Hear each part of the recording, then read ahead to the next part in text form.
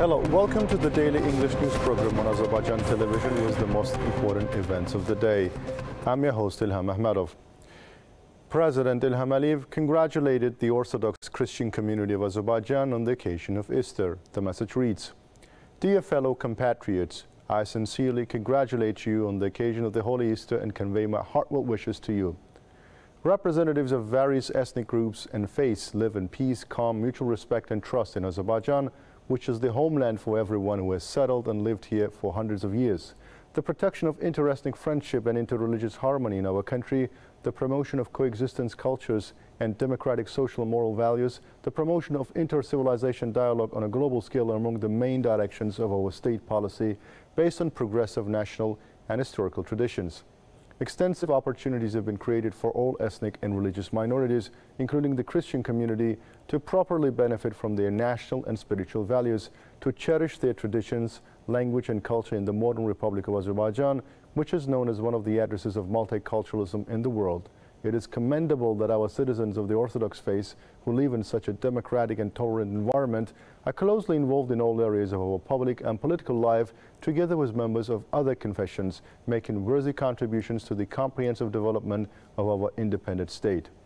Dear fellow compatriots, Easter is a symbol of revival, renewal, feelings of mercy and compassion.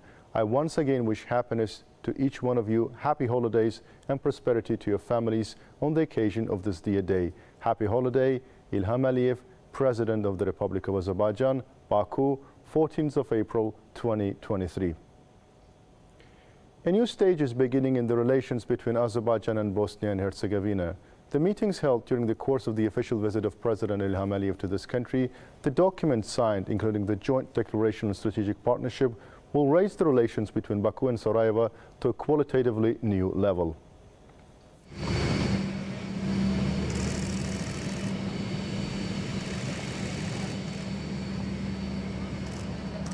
Azerbaijan, which successfully forged multifaceted international ties, quickly expands the geography of cooperation and partnership. The relation with Balkan countries claim an important place in Azerbaijan's foreign policy. The Balkan countries are interested in joining the mega projects realized by our country, which play an important role in the energy security of Europe. The measures taken in this direction in recent years serve as a testimony to that. Azərbaycanın təşəbbüsü olduğu Cənub qaz dəhlizinin The length of the Southern Gas Corridor initiated by Azerbaijan is 3,500 kilometers. For a little more than two years, this pipeline has been transporting our natural gas to Europe. This pipeline passes by the borders of Bosnia and Herzegovina. It would be good if we start cooperating in this field of natural gas. Appropriate instructions have already been given. The political dialogue between Azerbaijan and Bosnia and Herzegovina always remains at a high level. Official Sarajevo is always represented at the highest level at a big international events held on the initiative of Azerbaijan. Azerbaijan is a very important country for us. Today, we declare that we are friendly countries to each other. We support each other in the international arena. At the same time, our bilateral relations will rise to a higher level. Baku and Sarajevo cooperate under international organizations to supporting each other's fair position. Two and a half years ago, when Azerbaijan restored its territorial integrity in the Second Karabakh War, Bosnia and Herzegovina firmly supported Azerbaijan and our rightful cause. This is a position of friendship and brotherhood.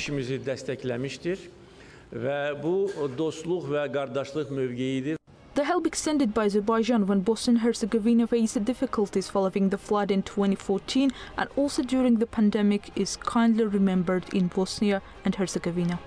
During all this time, Azerbaijan implemented important and necessary infrastructure projects in several our cities. A medical center was established in Banja Luka, a friendship park was built in Sarajevo. At the same time, a medical institution was established in Sarajevo. Azerbaijan has always been our side whenever there were difficulties in our country. The declaration on strategic partnership signed during President Ilham Aliyev's visit to Bosnia and Herzegovina will not only increase on a daily basis the number of European countries supporting Azerbaijan, but will also solidify the good image of our country among the world states.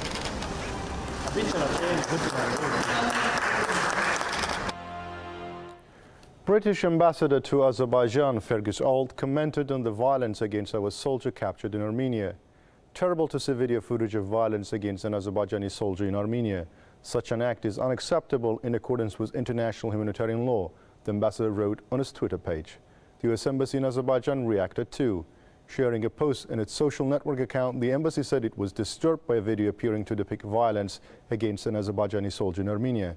It should be noted that a few days ago, Akshin Babirov and Hussein Akhundov, missing soldiers of the Azerbaijani army who lost their way due to limited visibility in adverse weather conditions, were captured by Armenia. In a video circulated on social networks, cases of physical torture and inhumane treatment against the captured Hussein Akhundov were demonstrated. Human rights protection organizations and NGOs called on the international organizations regarding the detention of two servicemen of the Azerbaijani armed forces who were tortured in Armenia.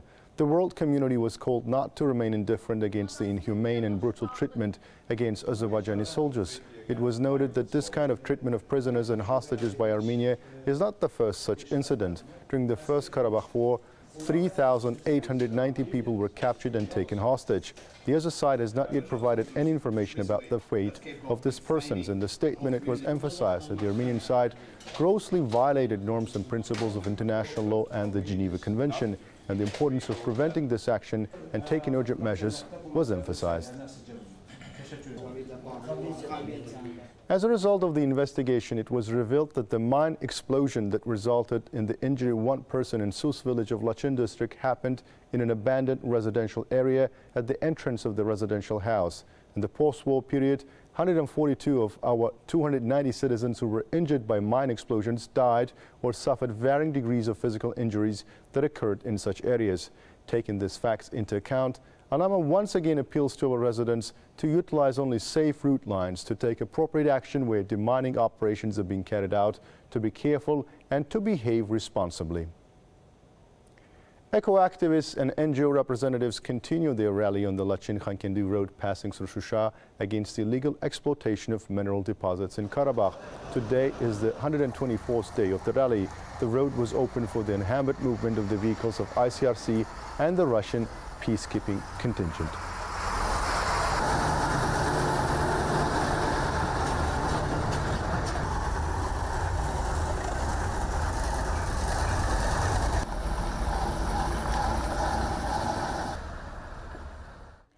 You can get in touch with us by contacting AzTV Khabar's hotline number 051 511 1956 through which you can report events you come across of as well as share your suggestions and remarks. You can also contact us via our WhatsApp and Telegram accounts. That was all for the day. Thank you for being with us. Goodbye.